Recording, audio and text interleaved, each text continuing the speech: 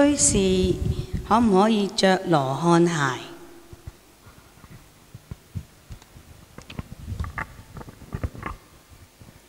有的寺院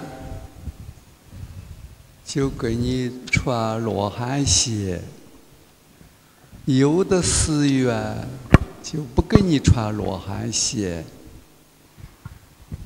认为这个罗汉鞋是出家人穿的，不是你们在家人穿的，所以不许可你们穿罗汉鞋。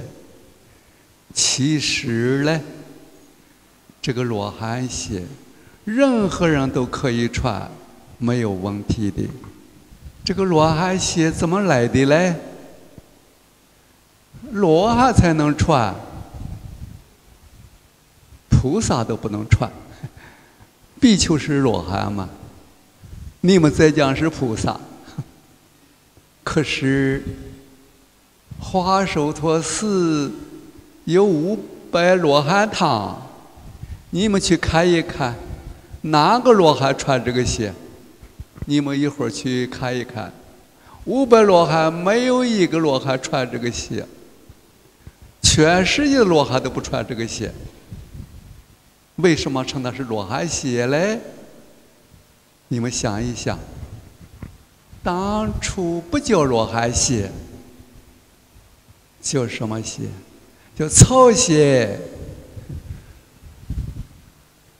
顾名思义，继承是草鞋，是草做的，不是布做的。以前不能出家，在家人住那个深山野岭，哪有钱买布啊？而且那个鞋，我们北方最上鞋呀，要几个月才最上鞋呀，可不简单。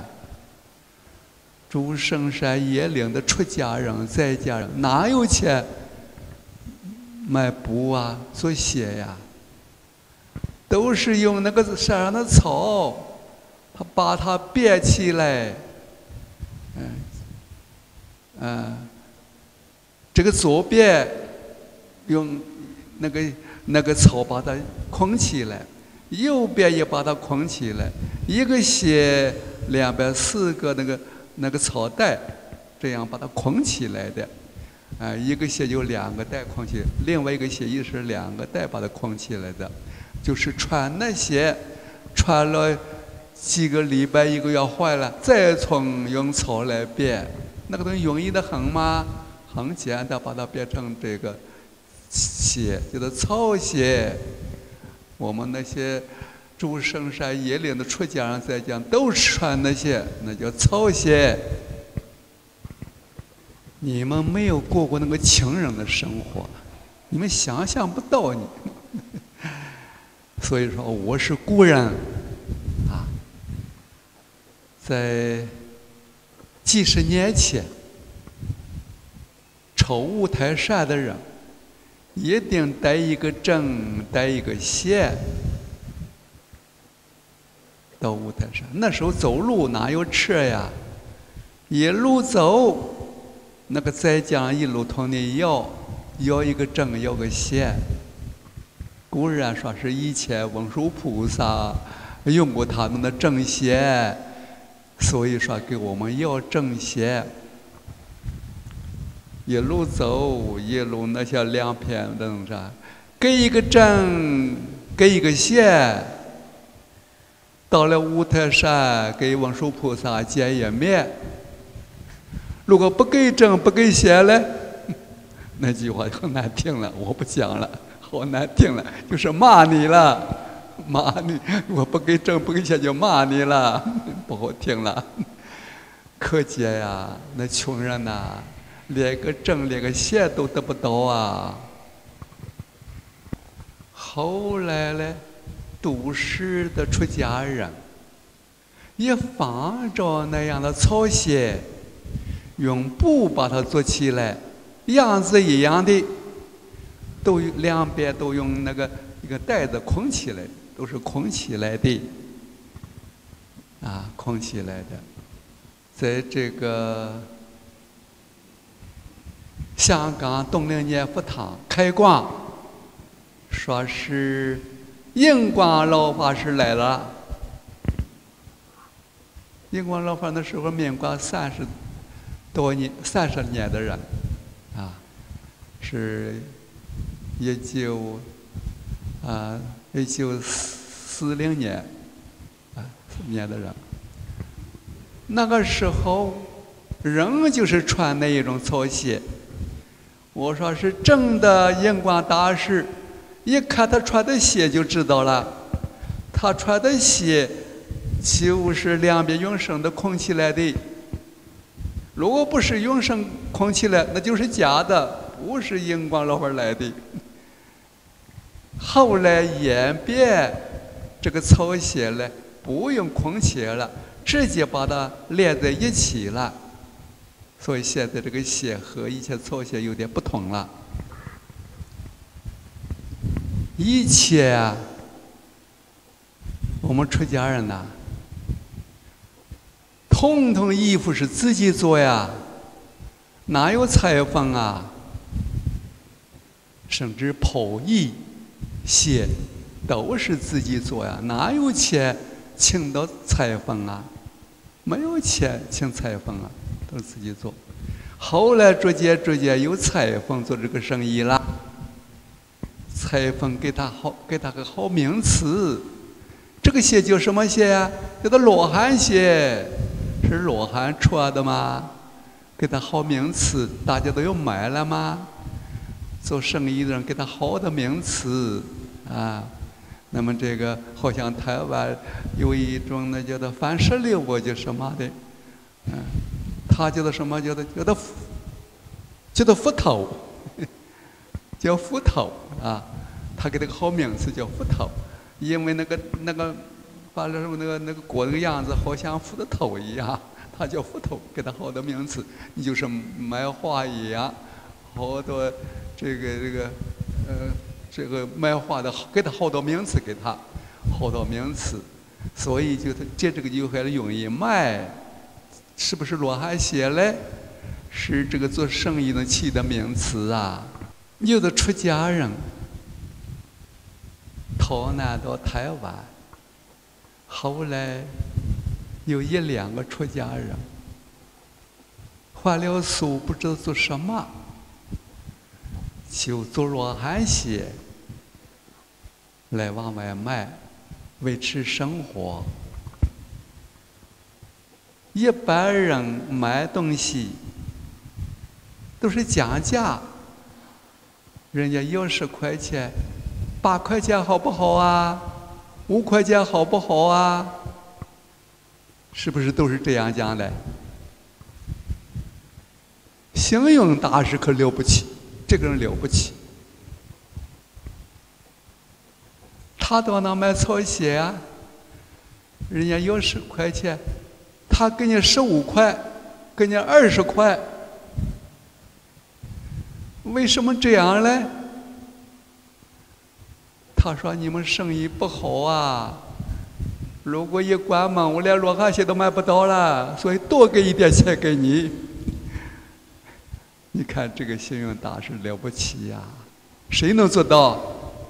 要十块钱给你十五块，给你二十块，谁能做到？请问法师有乜嘢资格先可以皈依三宝？皈依三宝很简单，只要能存好心、说好话、行好事。就有资格归三宝。那么，啊，归三宝有什么好处呢？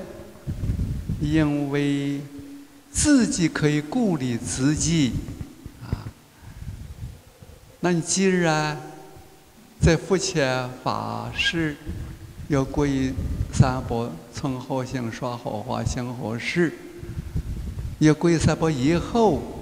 你如果不存好心，不说话，不行好事嘞，感觉违背自己良心，无形中有这种思想，这是对你自己有利的，自己可以鼓励自己，别人也会鼓励你。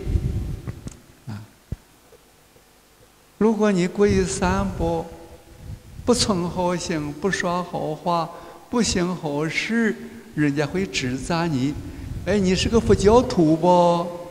你怎么做这个坏事，讲那个坏话，存那么个坏思想呀？无形中皈依三宝，自己鼓励自己，别人也可以鼓励你，有这样好处。不要说成佛、成圣不容易，做一个人就不容易。很多大人物，一失足成千古恨，他不知道做这个事不好吗？但是他不由自主，不知不觉就做错事了。做错事，啊，遗恨万年。假使我们皈依三宝呢，无形中自己能控制自己。有这样的好处，啊！如果你没有皈依三宝，自己都控制不自己，因此呢，我们皈依三宝有这样好处。我对佛法一无所知吧，什么都不懂，可以可以皈依三宝嘞，没有问题。你进了佛门，再来慢慢学习嘛。你说我的思想有一不定，我将来如果呃。半边佛教嘞，我要信外教怎么办嘞？没有问题，你愿意信什么宗教，信什么宗教，没有问题。将来过个时间还是佛教好，你又回来了，我们仍仍旧收用你来做佛教徒。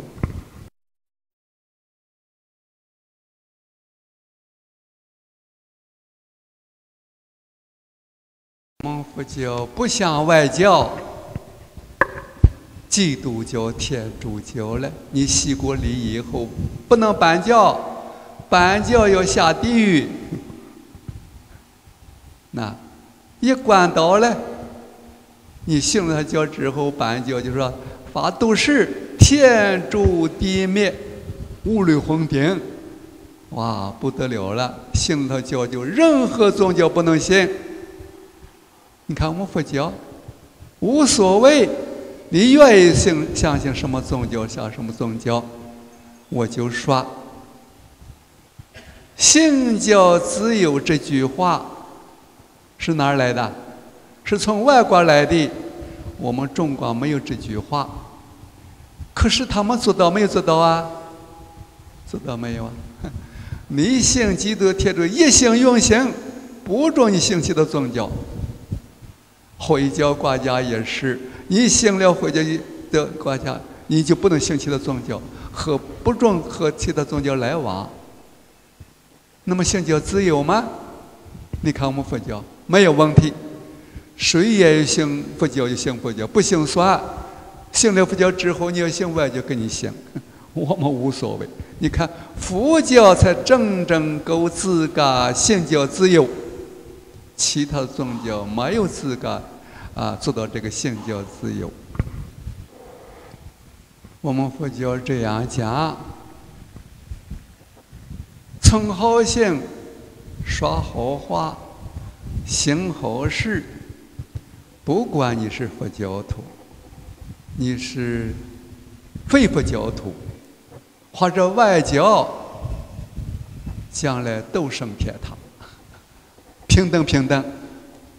假使你不存好心，不说好话，不行好事，不管你是佛教徒、非佛教徒，或者外外教，都能恶道。你看佛教是不是讲平等啊？他是这样讲吗？行就升天堂，不行就下地狱。你看我们佛教是这样讲吗？佛教为乜嘢要提倡素食同埋放生呢？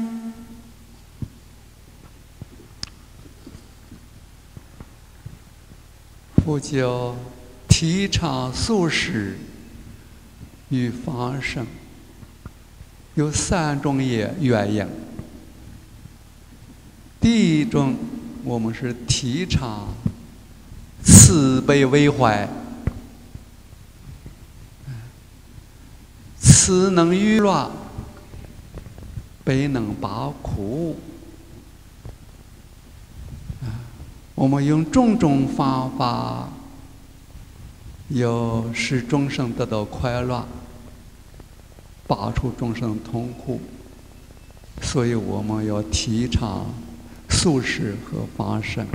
慈悲在佛书上讲有圣愿慈悲、法愿慈悲、无愿慈悲。圣愿慈悲呢？啊，我们啊，用种种方法，要使众生离开痛苦，得到快乐。那么，将来以后，众生批评我们，骂我们。回报我们，我们也不可以生嗔恨心、生恼害心啊！因为你愉快了，把痛苦都来不及，你也把人痛苦，要给人快乐，人家骂你、批评你、回报你，你就发脾气，你就要恼怒。你是什么菩萨嘞？你能不能行持到这个慈悲两个字嘞？没有做到，所以说要慈悲众生啊！众生批评我、骂我、诽谤我，我不生嗔恨心，不生恼怒、恼怒、恼害心，你才能生到慈悲。所以叫做圣缘慈。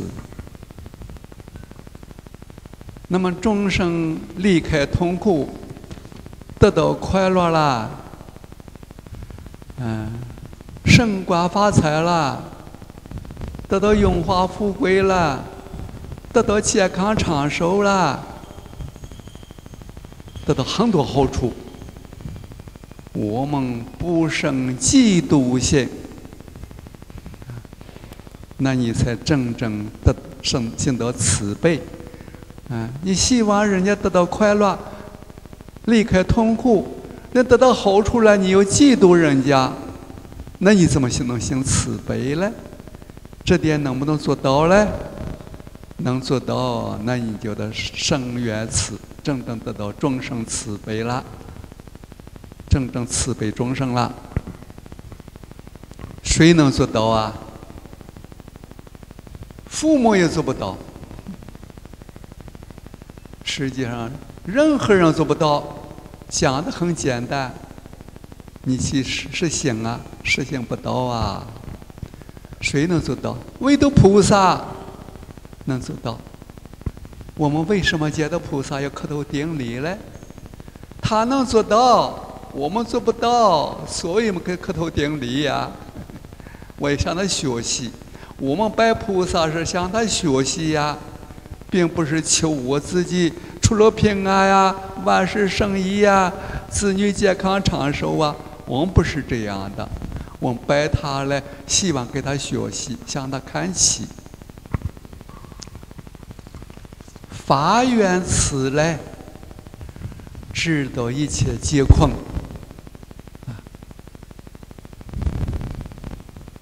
我们对于这个生缘词啊，能做到，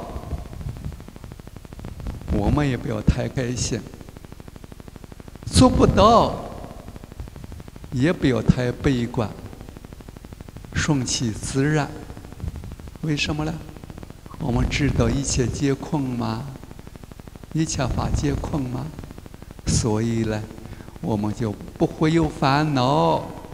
我们也不会有啊，这个很开心啊，所以古德说：“无喜也无忧，岁月度春秋。做的事很好，也不要太开心；做的不好，也不要太悲观。这样的做人才非常快乐，非常自在。第三句叫做无缘慈悲，对一切众生起平等观，叫做缘情平等。是我冤家对头，我也用慈悲来，呃，对你有利。你是我亲戚朋友，我也是对你慈悲有利。啊，我们一切不计较，统统是平等。不管你是中国人、外国人，是不但中国人、外国人，甚至空中的飞禽、地下的走兽、水里水族，一视同仁，统统平等。要把他的痛苦，哎，要与他的快乐，叫做无缘慈悲。第二种，因为众生平等，所以我们有素食和放生，啊，平等了，身体平等，思想平等，身体平等了。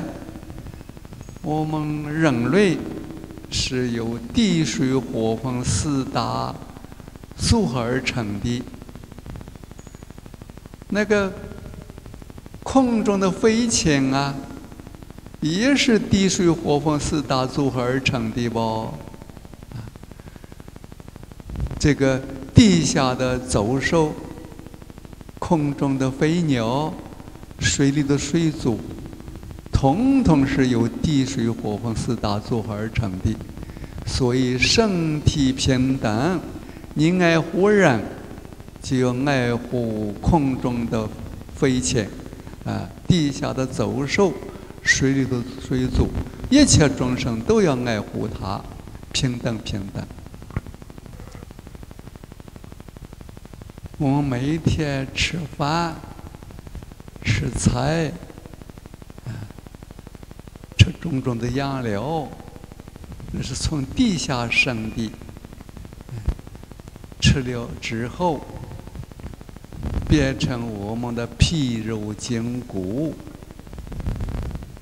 地它生长的东西是是固体，吃到我们身体上也是固体，所以身上的身体上的这个皮肉筋骨是地大变成的。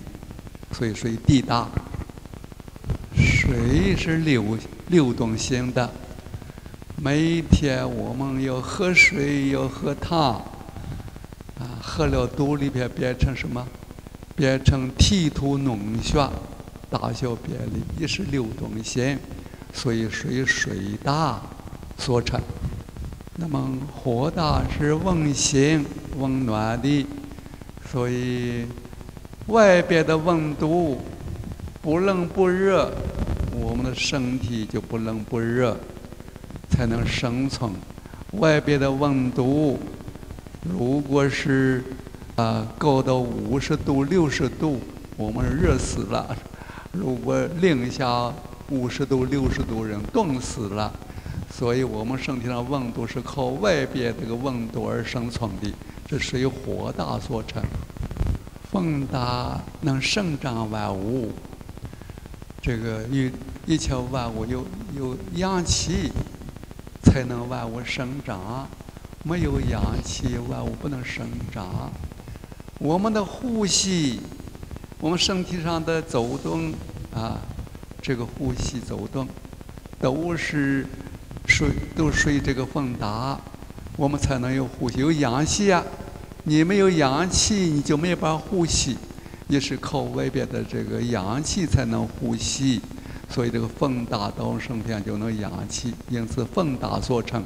我们的身体由地水火风四大组合而成的，空中的飞鸟、地下的走兽、水里的水族，都是由这个四大组合而成的。所以说是平等。所以古德说：“我肉众生肉，名属体不属。”啊，我的肉和种上的肉啊，在名字上不同，体上是相同的。那个出生的牛啊、羊、猪，名字不同。我们叫人，名字不同。那个肉还有像还有不同吗？人死了叫尸，那个猪马牛羊死了叫做肉，那叫做肉。我们叫做尸，人四世，其实呢，四世就是肉，肉就是四世啊，名字不同啊，那个那个肉是一样的，没有差别。第三种基于因果的原则，你吃众生肉八两，你就把它搬净。你不是要环保，要环保，今生不能还，来生要还。普通一般人说，你有厨艺，我就有手。你厨艺骂我，我都出呃厨艺来报复你。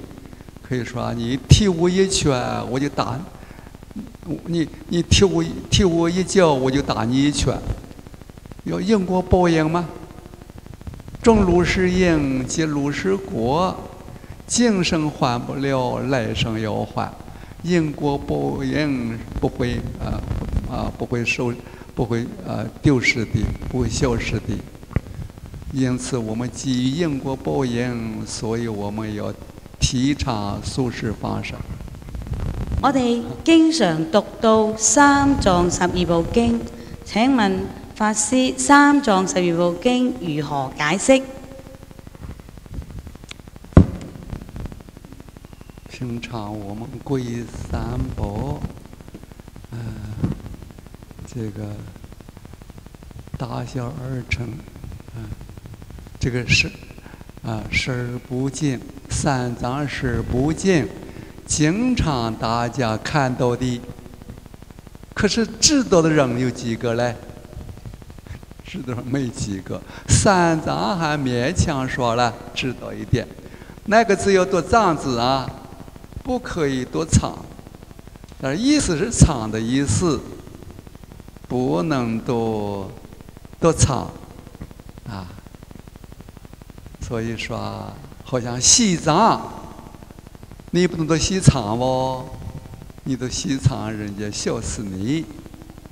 因此，我们佛教有一句话，说是“秀才读经，笑死老僧”。秀才学问的很好啊，他可不能读经，一读经笑死人。因为佛教的字不同，和一般做的做的不同。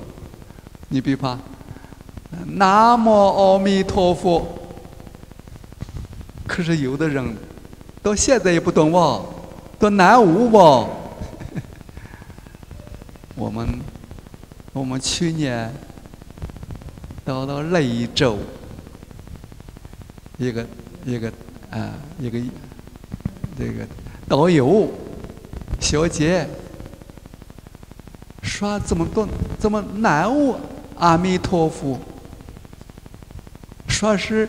我们南方没有阿弥陀佛，你们北方才有嘛？他说：“你们北方有阿弥陀佛，南方没有，是不是啊？所以南无阿弥陀佛嘞。你说这些人们笑死人吗？比方我们那个般若波罗蜜多心经，他们普通都办。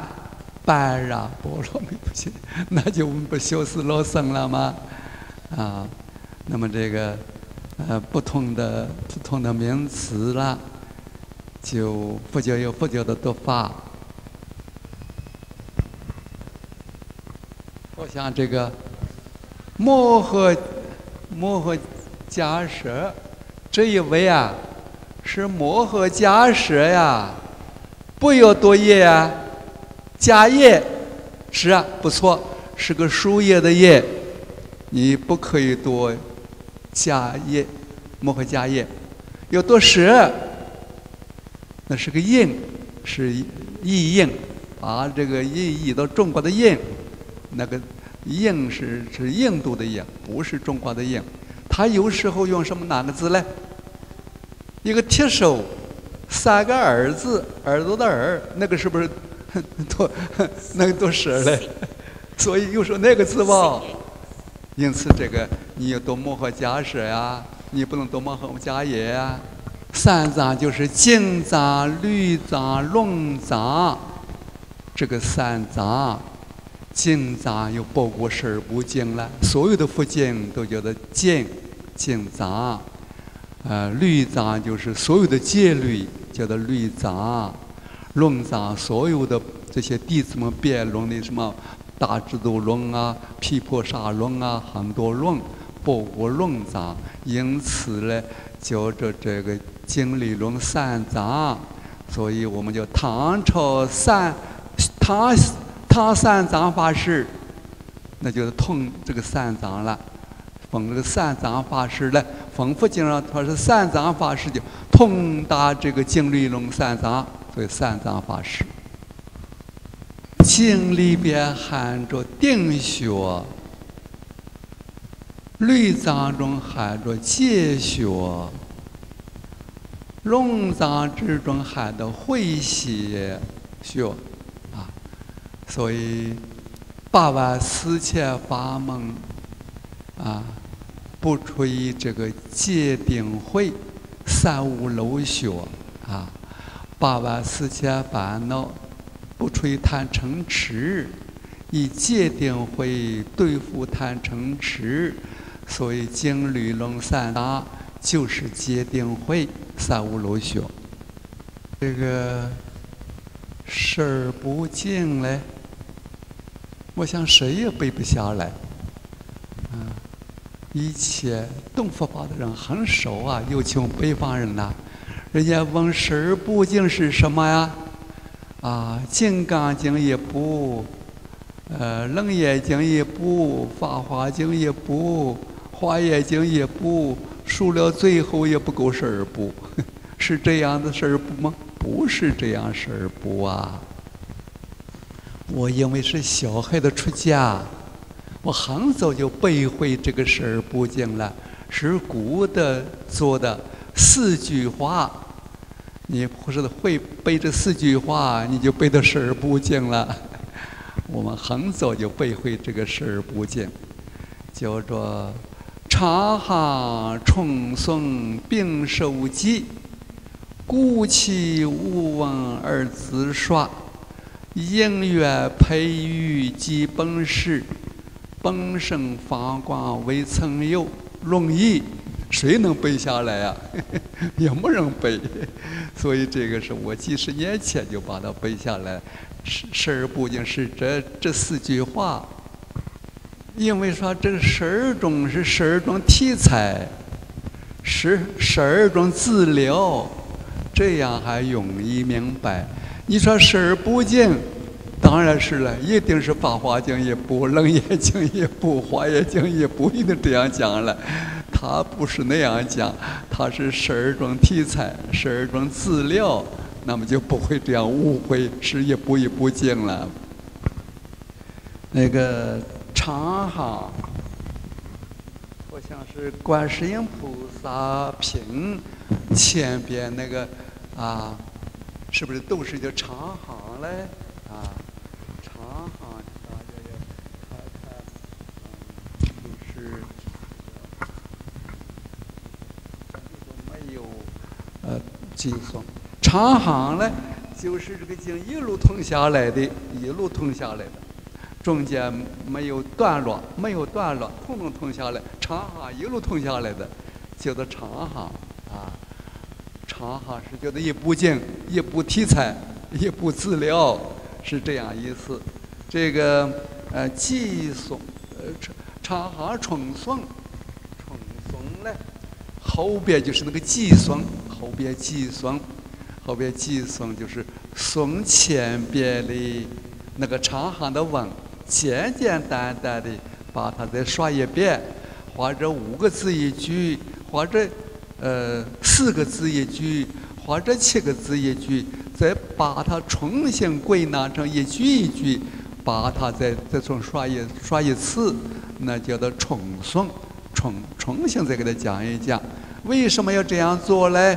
那么有的人呢欢喜那个长行的文，有的人欢喜那个寄诵嘛。你比方《金刚经》，起的都是长行，通的长行，后来重重诵什么？那个寄诵，是寄诵两手寄诵啊，两手寄诵。然一杀奸恶，以应声求我，世人行邪道，不能见如来。这都重诵前边的呀。因为什么？前边的富翁须菩提，可以三十二相见如来吗？求的可以呀。如果以三十二相见如来，转轮圣王就是如来，就是佛了不？去不得？是啊，不是。不能以三十见见佛见如来，所以佛又讲了那个四句话来重诵：让以善见我，以应生求我，世人行邪道不能见如来。那前边就叫唱哈，这四句叫做重诵，把它再诵一遍。这也是一部一部经，一部题材，一部资料。这是两种了，两部经了。另外一个寄送我也念一念嘛啊！一切有为法，如梦幻泡影，如如一露电，应作如是观。金刚经上好像就这两个重诵，两个寄送。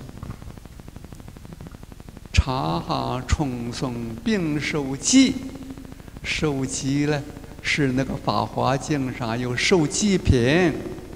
好像为弥勒菩萨受记，现在是人寿一百岁减一岁，减到人寿十岁，一百岁增一岁，增到八万四千岁，从八万四千岁减到八万岁，弥勒菩萨就出生了，在这个世界叫做龙华三会院，啊，龙华三会，在那地方要来来讲佛法了。那么度多少人，正法多少年，相法多少年，末法多少年，每个弟子给你们收集，那叫做收集啊，收集。所以长行重诵并收集，这是一一种材料资料，这三部经了。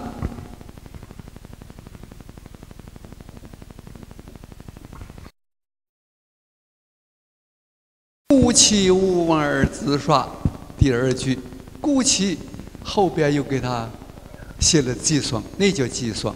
不过前边没有的，前边没，忽然间，呃，讲了四句话或者八句，突然起来的，前边没有的，那叫做故其送。这也是一部。第五部就叫无闻而自说，无闻自说。净土宗啊，观无量寿经、无量寿经、阿弥陀经这三部经是没有人问的。没有弟子问父自己说出来的，这也叫一部经。咱就叫做因缘培育即本师，因缘就讲哈弟子的种种因缘，每个弟子什么情况，什么情况，讲他的来龙去脉。啊，好像犯戒，为什么制这条戒嘞？因为什么原因？什么原因？所以制这一条戒，把它归纳在一起，有这么个字题材。叫做因缘，譬喻就是一部经，你看都有培育经啊，用种种方法来个做比喻啊，那叫培育经，也是一部。因为譬喻即本师，本师就是讲弟子们过去生中啊，啊行菩萨道啊，好像舍利弗啊，一切行菩萨道，一个小孩子咱哭哭啼啼的，那么。舍利弗说：“为什么哭呢？我的母亲有毛病，有生人的眼睛，要配药才能吃得好。舍利弗说：“好了，我把这个眼睛给了你吧，给你母亲配药吃吧。”一看不是这个眼，是那个眼，哎，那么另外又给他一个眼给他配。啊，这个舍利弗说呀：“众生太难度了，我不行菩萨道了，退了行吧。你不早点给我讲，要这个眼又要那个眼，就讲这些故事，弟子们过去的故事叫做本事。第四节本生放光未曾有，本生就讲释迦牟尼佛本生的事情，什么割肉为鹰啊，舍身为虎啊，那些故事。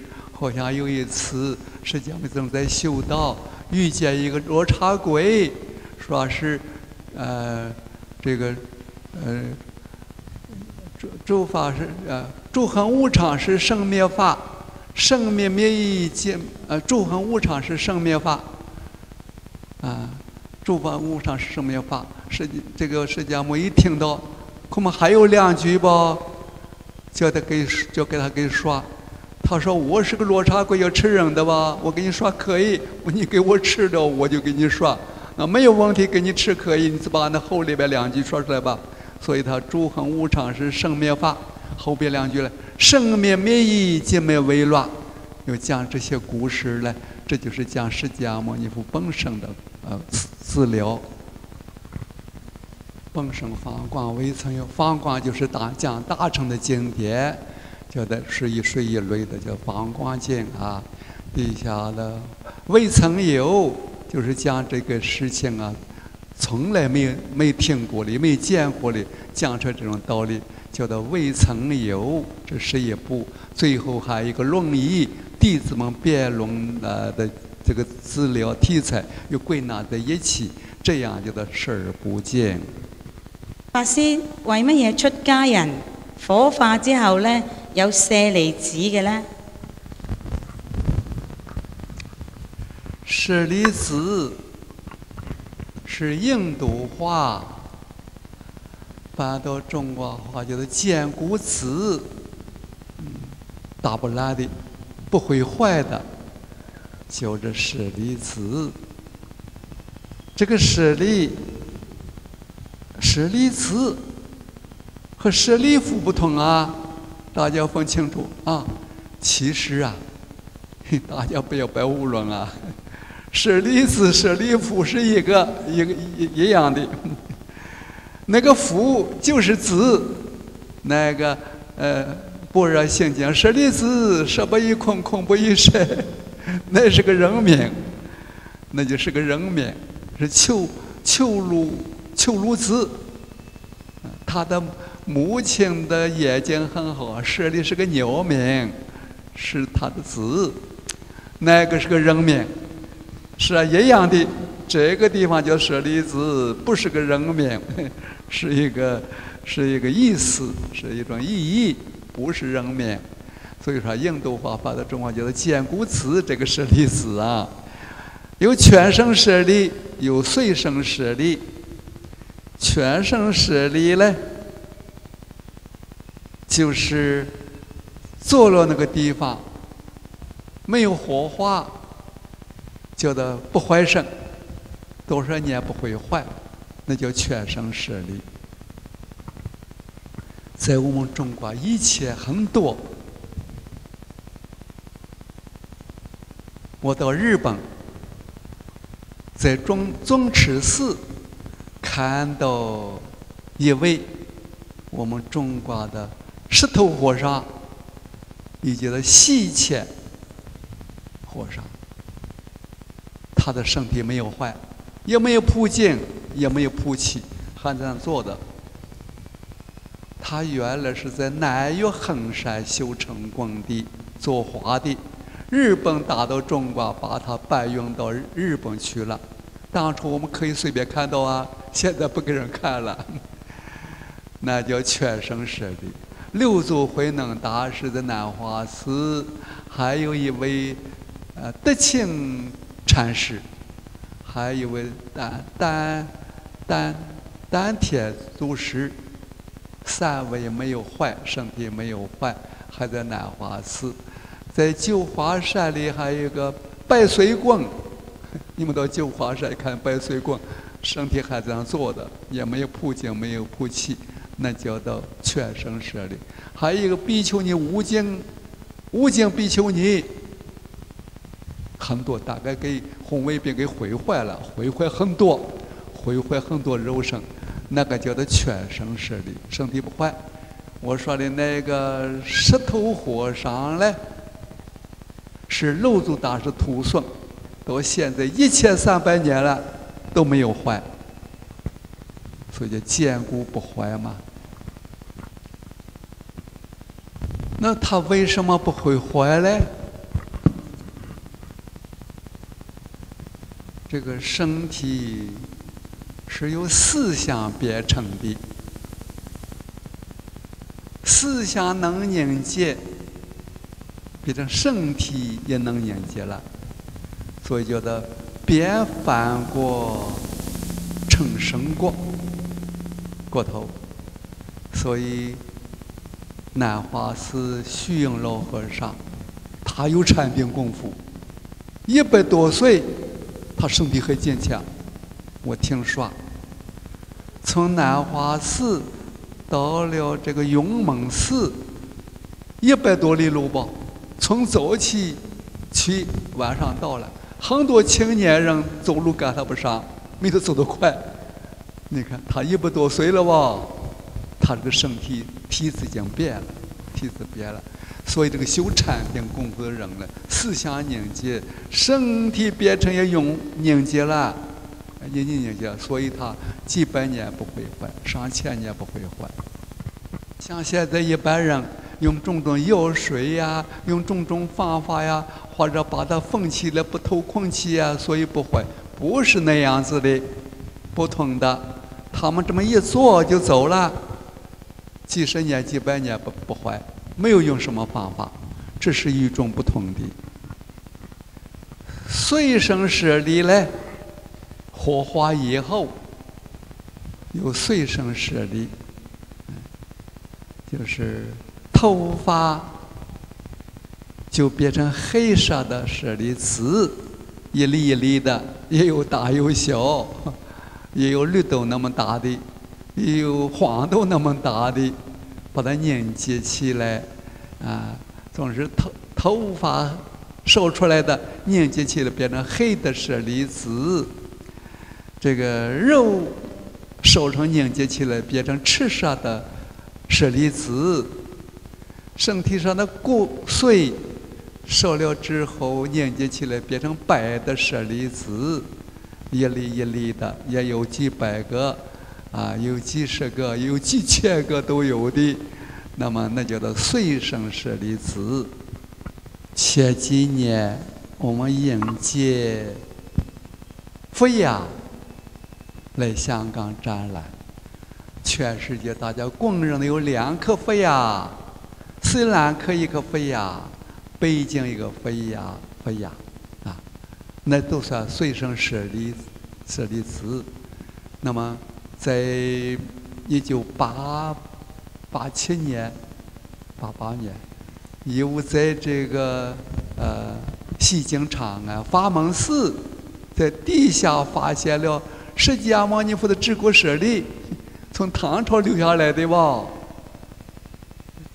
智果舍利子，全世界没有的，在中国就这一颗。哇，这一发现正是国宝。哎，佛牙是中国的国宝，佛的治国实力是中国国宝，所以对中国的身价啊抬得很高啊。这个佛教为中国的国家。身价升了很高，很很有代价。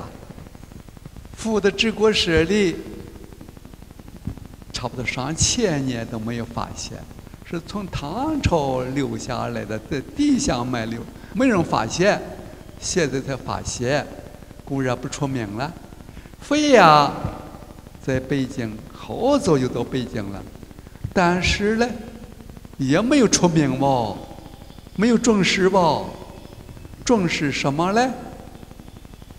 重视宁波奥一王的福德舍利子，福德舍利子，重视这个啊，在宁波欧玉王，欧玉王是释迦牟尼去世两百年的，说是这个欧玉王国王啊，啊，做了八万四千宝塔，说是那个是其中之一，那最出名了。这个舍利子，每个人看的眼神不同，是啊，看不到那个上面的线掉下来的，在那个塔里边掉掉下来的，有的看的是白的，有的是看的是黑的，有的是看是黄的，各每个人看的不同。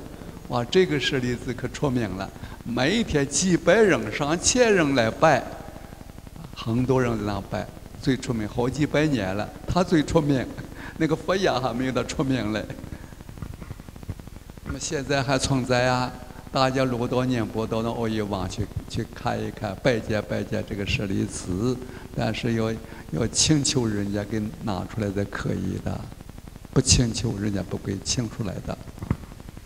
好了，我们终点到了，讲这为止。